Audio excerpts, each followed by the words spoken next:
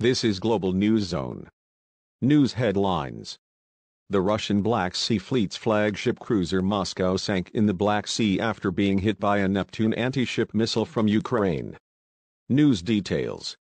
One of the Russian Navy's most important warships has been badly damaged in the Black Sea, a massive blow to a military struggling against Ukrainian resistance 50 days into Vladimir Putin's invasion of his neighbor. Russian sailors evacuated the guided missile cruiser MOSKVA, the flagship of its Black Sea Fleet, after a fire that detonated ammunition aboard, Russia's defense ministry said.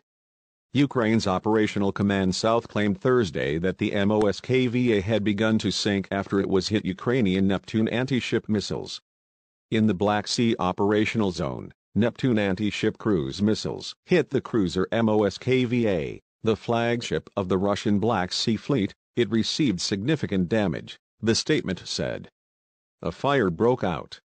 Other units of the ship's group tried to help, but a storm and a powerful explosion of ammunition overturned the cruiser and it began to sink. Russia's defense ministry said Thursday that the MOSKVA remains afloat and that measures were being taken to tow it to port. The ministry said the crew had been evacuated to other Black Sea Fleet ships in the area.